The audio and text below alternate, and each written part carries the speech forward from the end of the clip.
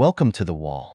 In today's video, we will discuss how divorced women over 30 struggle to find a suitor for a relationship, how difficult dating is nowadays, and why men let them hit the wall. We want to invite you to smash that like button and help us reach 100,000 subscribers by the end of the year to earn our first plaque. That's the only contribution we ask from you, man. Add your grain of sand to the movement. Share your experience in the comments for any man who might need it. And without further ado, let's get started. So I'm divorced and remarried, and I got married really quick the second time. I'm talking like engaged and married within a few months. And someone recently asked me, How did I know my husband was the right person for me, especially after all I had been through? And I found what I wrote, and I just feel like you need to save this and write it down in your manifesting journal. Okay, I wrote, This man pursued me so intentionally, it melted away any insecurities because he showed me I was more important than relationship games. He adored me so much that I never had room to question if I was good enough. He respected me so well that I never questioned my worth with him. He was so wonderful to me that it made me want to be my very best self for him. And then I finish it off with what made me fall in love with him as an adult so quickly without too much questioning anything was the way he made me feel about myself with his actions. Note that I didn't say how he made me feel in general. Any fuckboy can make you feel giddy and excited. It's how his actions made me feel about myself as an individual. Anyways, I wrote this about two years ago when we had been married four years, and now we've been married six and a half years, and I still feel the exact same way about him. So go back and rewatch my video, write down everything that I wrote about my husband, and put it in your journal because every girl deserves a guy like that. And they're out there, I promise. You just gotta dig for them. Dig and dig and dig, but they're there. I'm Monica. I share my mistakes in love and life, so you don't have to make them. Okay, love you, bye. Forget about manifestations and all that nonsense. Anyone who believes in that will end up single. The first thing is that you didn't find the perfect man.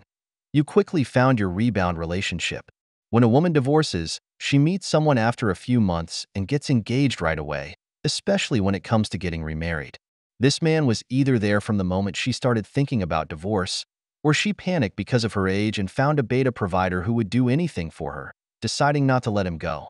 Remember, women like to secure their financial future, and who better for this than the beta provider? She made a mistake with the first one. She won't with the second. Remember, women are very aware of their age. They know when time is running out. But they also know that the higher their beauty, the better the candidates. This man was probably a good candidate, especially economically. If the first marriage was for love, the second will be for security. This one here is for all my girlies over 30. Recently, I came across this YouTube video of a young man and he had a bunch of men on his live and while he was recording. And my conclusion of the three hour long video is that men nowadays, no matter how old they are, they're only interested in girls between the ages of 18 and 25. Now you tell me now, where does that left we? Where are we over 30? I'm 41 left. Now, me not have to worry about it, you know, because me well married for 22 years. But life takes its twists and turns. So does it mean that once you turn 30, 25, does it fair? No man no want you again? Wanna let me know in the comments. Thank you so much for watching. Much love.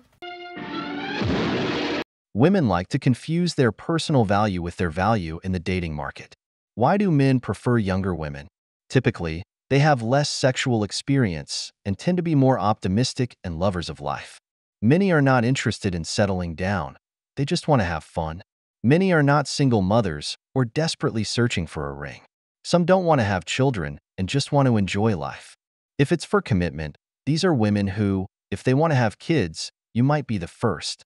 They are more fertile, young, and beautiful. Most importantly, dating doesn't feel like a job interview. So tell me, how can a man not be attracted to a younger woman if you've hit the wall? The wall is unforgiving. The way our generation dates is wild. I mean, firstly, there are a million dating apps, which is not a bad thing because I know beautiful stories and a lot of stories where people get married off of meeting each other on a dating app. But you're basically swiping left or swiping right um, depending on how much you find that person physically attractive and vice versa right so that's that's interesting to me but people are really out here full on dating i mean they're on their 10th date they're traveling together they're having sex they're making plans for the future and then they get the ick about something and they're like thank you bye ghosted. We're done here. Like we literally took Ariana Grande's song "Thank You Next." Literally, I don't like the way that you smile. Thank you. Next, I don't like the way that you chew. Mm, next, I don't like the way that you walk in little slippers. Thank you. Next, like it's it's crazy because there's a million options, right? So no one is finding stability in dating. They're like, oh wow, if we disagree on something and you're giving me the ick on this, why would I stay when I have a million other choices and a million other swipe right, swipe lefts that I can have and do? my peers, my friends are going through so much hardship in dating.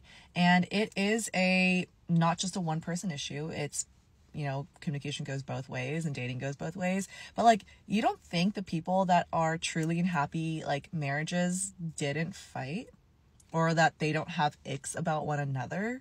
Like, I look at my relationship of two and a half years with my partner and I think about the amount of good arguments we had to have to have this beautiful foundation, right? Like there was one point where I was like, wow, we really can't see eye to eye. Like you don't believe what I believe and this is clashing. So how do we figure out a way to meet in the middle? And there's just no more middle in dating in our generation anymore. There's no more finding the middle. And so I don't know, this was I just needed to rant a little bit because it's a little scary. Like we wonder why divorce rates are super high. We wonder why the marriage rate is super low. We wonder why people aren't getting married or having children. And it's like Stop it. Get some help. In these times, when you can connect with the world with just one click, people are preferring less contact. Women, in particular, are getting more attention than they've ever had in their lives. That's why you see women who are a 4 thinking they're a 7, because there's a huge number of simps giving them attention. Almost 60% of men are invisible to women. A woman, if she wants, can go out with up to 10 guys or more in a month. How could she make an effort to get to know someone when, after finishing a date with you, there's already a better suitor waiting? But here's the catch. A man can go out with 10 women if he is a man of value who has done things right, and it's possible nine of them want something serious with him. A woman goes out with 10 men and it's very likely that all 10 want to be intimate with her but not offer a relationship. Remember, for a woman to sleep with a man, she must make an emotional investment.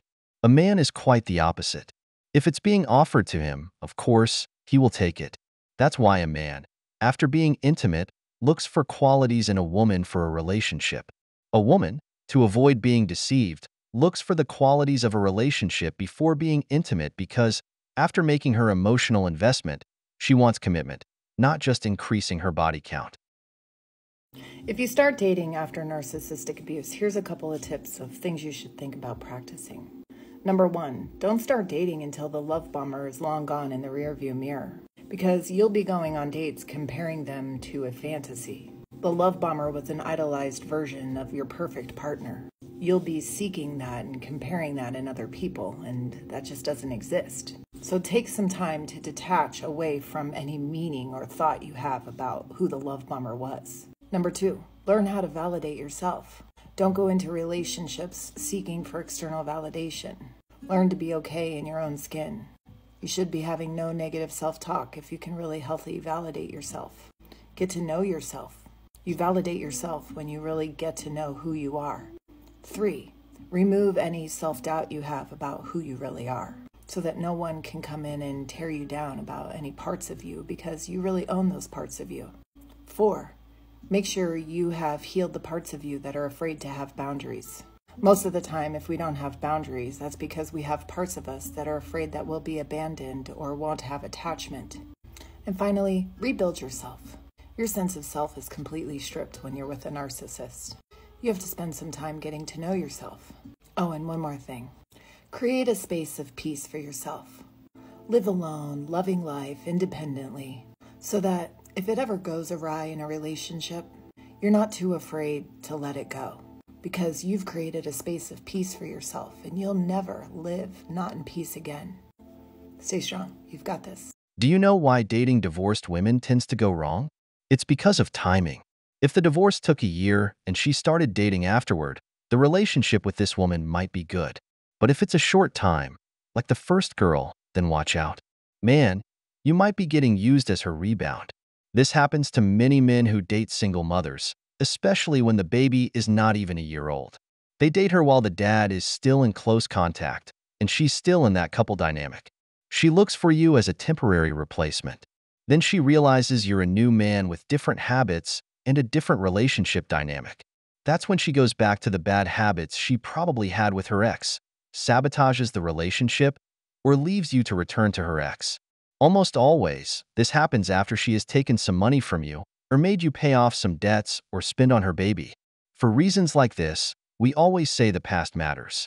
If it hasn't been long since it ended, you'll just be the rebound.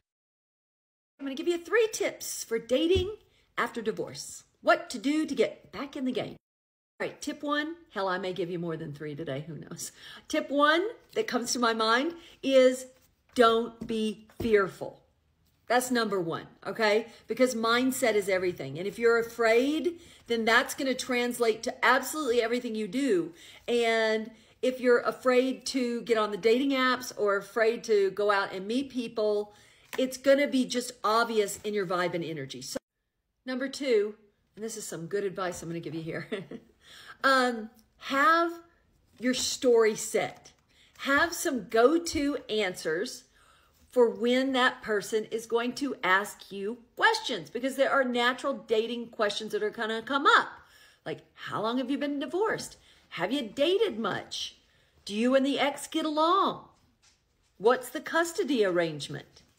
Why did you get divorced? And if you don't want to talk about those things, then have a set answer so that you briefly answer they don't deserve to know everything. They don't deserve, even if they ask, they don't deserve to know everything until you know if you really, really like them. So if you had a really hard, shitty divorce and you were married to a psycho, you are not going to say that. You're going to say, you're going to say, well, the divorce took a little longer than we'd hoped, but it's done and we've both moved on. Learned a lot during the marriage, grew apart. Those are very easy go-to things. And then and then you have a thing where you're already ready to change the subject. So tell me about you. What's the best restaurant you've been to lately? You know, I mean, just come up with something. So have things at the ready so that you're not caught off guard. All right, hang on. When getting back in the game, you want to make sure that you are picking partners that are appropriate for you. All right. So just remember if they're fit, they want somebody fit. Usually, if they have kids at home, you'd be a better match. If you have kids at home, if you're an empty nester, you want to find an empty nester, want to find somebody who looks like they're realistic for you, for your lifestyle. You know, you don't want to pick anybody that like is super inappropriately young or looks like they have a party lifestyle if that is not your lifestyle. So be realistic. Oh, I'm going to give you another one. What the hell? All right, make sure that you treat dating not like a chore, like it's fun because you get the opportunity to now meet new people. So now your possibilities are endless. So your glass is not half empty, your glass is half full. So when you go out on dates, do not be the sad sack that's down in the dumps. Who wants to date that person? No one, okay? You will always want to, even if you have to plan it ahead of time, some things that you want to talk about that you find interesting, that you find fun, because you've got to go on dates and be upbeat, happy, and looking forward to the future. Oh, I just thought about one other one. Hang on, I got one more for you. Last but not least, don't talk about your past. Do not get tricked into being pulled into a rabbit hole of talking about your past, talking about your ex, talking about your past life in the good old days. No, somebody dating you wants to talk about what the two of you might be able to do together in the future. So people want to date people who are optimistic and happy about the future, not stuck on the past. Okay? Okay. I hope it helps. If you're dating a woman who has just come out of a divorce or a bad relationship, watch out for two things. First, if she talks a lot about her ex, it's a red flag. It's a sign she hasn't gotten over him, or that Chad was the man she loved the most. The second thing is her behavior after the divorce. If she tells you she's been going out a lot, distracting herself, or badmouthing her ex, making it seem like he was always at fault and she never did anything wrong, these are bad signs. She's someone who never takes responsibility for her actions and is trying to distract herself to avoid facing her problems. When they're like this, you end up with women who use you as a rebound. They only want you for the moment, which isn't bad if it's just for intimacy. The problem is when you see her as a long-term partner because that's a recipe for disaster. We've reached the end of the video, but before we go, the questions are for you. Have you ever dated a divorced woman? How did it go for you? What do you think is a bad sign when dating divorced women? If you enjoyed the video, make sure to give it a thumbs up, subscribe to the channel, and hit the notification bell.